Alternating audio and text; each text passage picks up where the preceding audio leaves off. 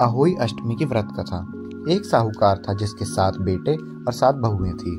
दिवाली से पहले कार्तिक अष्टमी को सातों बहुएँ अपनी इकलौती ननद के साथ जंगल में जाकर खदान में मिट्टी खोद रही थी। वहाँ सियाहू की मांद थी। मिट्टी खोदते समय ननद के हाथ से सियाहू का बच्चा मर गया। इससे सियाहू माता बहुत नाराज़ हुई और बोली, मैं तेरी कोख बांधूँगी। तब ननद ने अपनी सातों भाभीियों से बोला कि तुम में से कोई अपनी कोख बंधवा लो। सभी भाभीियों ने अपनी कोख बंधवाने से इनकार कर दिया। परंतु छोटी वाली भाभी सोचने लगी कि अगर मैंने अपनी कोख नहीं बंधवाई तो सासू जी नाराज़ होंगी। यह सोचकर ननद के बदले छोटी भाभी ने अपनी कोख बंधवा ली। अब इसके बाद उसका जो भी बच्चा होता, वो सात दिन का होकर मर जाता। एक दिन पंडित को बुलाकर बहू ने पूछा कि उसकी संतान सातवें दिन क्यों मर जाती है? तब पंडित ने कहा तुम सुरही गाय की सेवा करो।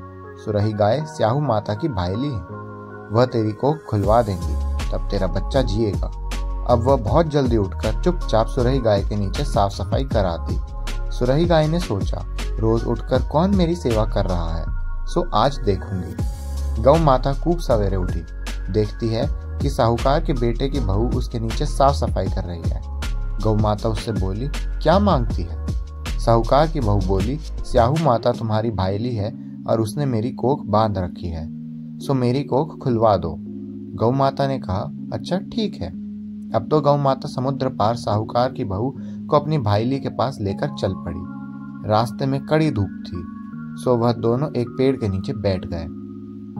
थोड़ी देर में एक सांप आया। उसी पेड़ पर गरुड़ पंखनी का एक बच्चा था। सांप उसको डसने लगा। तब साहूकार की बहू ने सांप मारकर डाल के नीचे दबा दिया और बच्चे को बचा लिया। थोड़ी देर में गरुड़ पंखनी आई तो यहाँ खून देखकर साहूकार की बहू की को चोच मारने लगी। तब साहूकार की बहू बोली, मैंने तेरे बच्चे को नहीं मारा, बल्कि सांप तेरे बच्चे के करीब आया था। मैंने तो उससे तेरे बच्चे की रक्षा की है। यह सुनकर गरुड़ पंखनी बोली, मांग, तू क्या मांगती है? वह बोली, सात समुद्र पार सियाहू माता रहती है। हमें तो उसके पास पहुँचा दे। तब गरुड़ पंखनी ने दोनों को अपनी पीठ पर बैठाकर स्याहू माता के पास पहुँचा दिया। स्याहू माता उनको देखकर बोली, आ बहन, बहुत दिन में आई है। फिर कहने लगी, बहन, मेरे सिर में जुए पड़ गए हैं।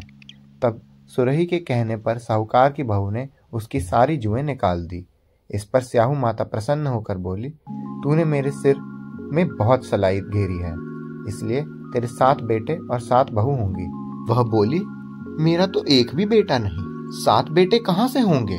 स्याहू माता बोली, वचन दिया है। तब साहूकार की बहू बोली, मेरी कोख तो तुम्हारे पास बंद पड़ी है। यह सुन स्याहू माता बोली, तूने मुझे ठग लिया, जा तेरे घर, तुझे सात बहुएँ मिलेंगी।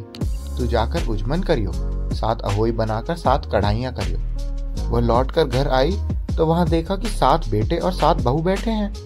वह खुश हो गई उसने सात अहोई बनाई, सात उजमन की और सात कढ़ाई करी। शाम के समय जेठानिया आपस में कहने लगी कि जल्दी जल्दी पूजा कर लो, कहीं छोटी बच्चों को याद करके रोने ना लगे। थोड़ी देर में उन्होंने अपने बच्चों से कहा, अपनी चाची के घर जाकर देखाओ कि आज वह अभी तक रोई क्यों नहीं? बच्चों ने आकर कहा, चाची तो कुछ मांड रही हैं, खूब उजमन हो रहा है। यह सुनते ही जेठानिया दौड़े दौड़े वहाँ आई। और आकर कहने लगी कि तूने कोख कैसे खुलवाई? वह बोली, तुमने तो कोख बंधवाई नहीं थी। सो मैंने कोक बंधवा ली थी। अब स्याहू माता ने कृपा करके मेरी कोख खोल दी है। हे स्याहू माता, जिस प्रकार उस साहूकार की बहू की कोख खोली, उसी प्रकार सबकी कोक खोलना। एक कटोरी में गेहूँ